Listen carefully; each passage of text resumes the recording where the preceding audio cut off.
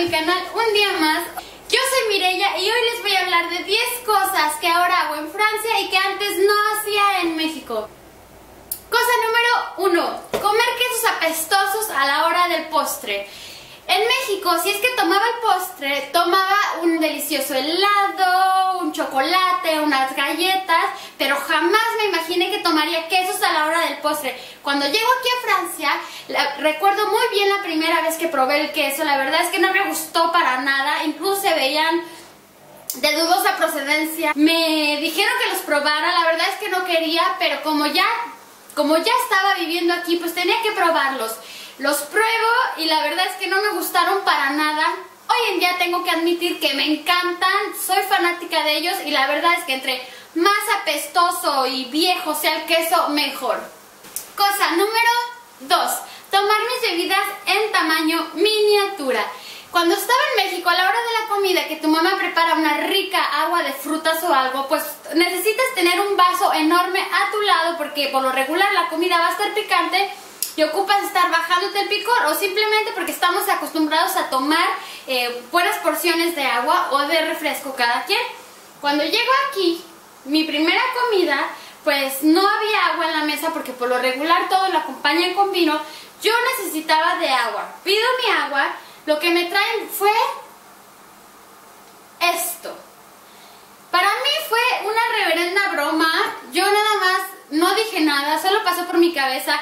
Se supone que esto me tiene que durar hasta que acabo de comer.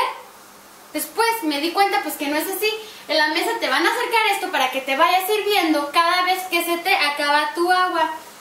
Eh, después pregunta que si quería un café y pues yo dije que por supuesto me traen algo así como esto, un tamaño expreso que para mí eh, yo no estaba acostumbrada a esto y aparte de que es un tamaño súper pequeño pues no lo llenan, lo ponen más o menos a tres cuartos de la taza así que queda súper concentrado, al principio era súper fuerte de tomarlo pero ahora ya estoy muy acostumbrada.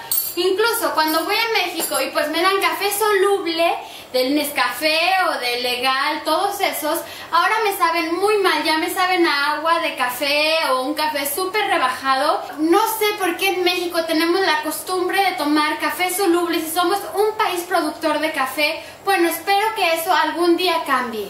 Cosa número 3. Tomar vino a la hora del almuerzo. Cuando estaba en México ni de broma hubiera acompañado mi almuerzo con alcohol, pero ahora ya que vivo aquí es una tradición súper implementada en el país y la verdad es que si hay vino en la mesa, yo lo tomo. Soy una alcohólica. Cosa número 4. Hacer citas para todo. Cuando digo todo es todo, tus amigas. Cuando estaba en México, simplemente llegas a la casa de tu amiga, le tocas y dices, estoy aquí abajo. Sea como sea, te van a recibir y te van a abrir la puerta. Pero aquí en Francia así no funciona. Incluso para ver a tus amigas, tienes que hablarle y preguntarle que qué día está libre y qué día se pueden ver. Algo que sí me gusta es que una vez que hay una cita es muy difícil que la cancelen. Cosa número 5. Dejar de sonreír o saludar a extraños. Cuando estaba en México yo saludaba a mis vecinos o a la gente que veía porque así fue mi educación. Era de pasar y decir buenos días, buenas tardes, pero eso aquí se terminó. Al principio pues yo veía a gente aquí fuera de mi casa y yo decía buenos días, pero la verdad es que pocos me contestaban, si es que me contestaban. Y los que me contestaban tenían una cara extraña, hacían cara como de ¿te conozco? o ¿qué pasa? o ¿te sientes bien? Así es que dejé de hacerlo y de sonreír ni se diga. Sonreír se presta a malinterpretaciones muy fuertes aquí, la verdad es que yo ya no lo hago, yo paré de sonreír, aunque al principio fue muy difícil porque como latina era algo que llevaba en mí, era algo que fue mi educación, pero pues aquí he tenido que dejar de hacerlo. Cosa número 6. Saludar dando dos besos en la mejilla. En México, si es que saludabas de beso, era simplemente dando un beso. Pero aquí va desde dos besos, tres o cuatro, dependiendo de la región de Francia en la que te encuentres. Cosa número 7. Hacer picnics. La verdad es que en México yo nunca hacía picnics. Si se hacía, se hacían carnes asadas, se hacía lo grande. Pero aquí siempre hacemos picnics. Me imagino porque es la manera más económica de poder disfrutar del exterior. Hay infinidad de parques hermosos cerca de la Torre Eiffel, cerca de Notre Dame, cerca después de todos estos puntos eh, de interés de París. La verdad es que París no te deja de sorprender. Hacer picnics es la manera más económica de disfrutar del exterior, de disfrutar de la plática con tus amigos, al mismo tiempo que agarras unos rayitos de sol. Cosa número 8. Llevar mis propias bolsas al supermercado.